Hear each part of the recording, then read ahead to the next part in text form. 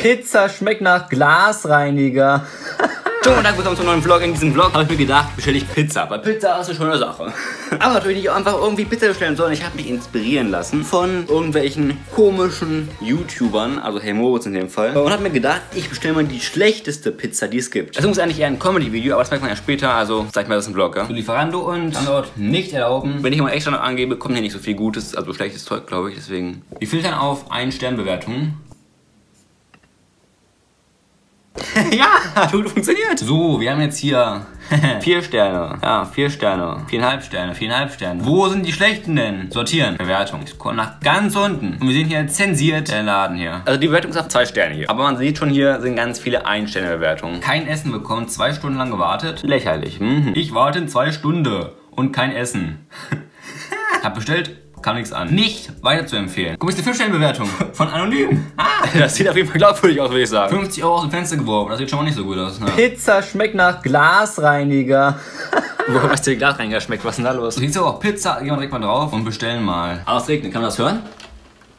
Ich wollte jetzt mal das äh, Fenster aufmachen, um mal kurz zu zeigen, aber ich glaube, das geht nicht auf. Wenn ich das hier nicht aufmache, so, dann reißt das hier das Gummi raus irgendwie und dann ist das nicht so nice. Pizza war nicht ganz durch. Gefühlt wurde auf Vorteig gekaut. Ah, nice. Da freue ich mich. Also wenn man sich mal die Wertung anguckt, ein Stern, ein Stern, ein Stern, ein Stern, ein Stern, ein Stern. Sieht nicht so gut aus. Ich würde sagen, da bestelle ich mal eine Pizza. One hour later. So, ein paar Minuten später ist jetzt die Pizza angekommen. Ich habe nicht gedacht, dass es wirklich so scheiße sein kann. Die Pizza ist doch nicht in meiner Box gekommen. Ja, warum nicht? Und ich muss auch sagen, die sieht eigentlich gar nicht so nice aus, muss ich sagen. Aber kannst du ja selber sehen. Das sieht nicht so lecker aus.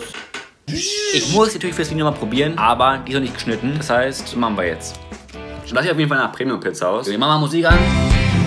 Was anderes bitte.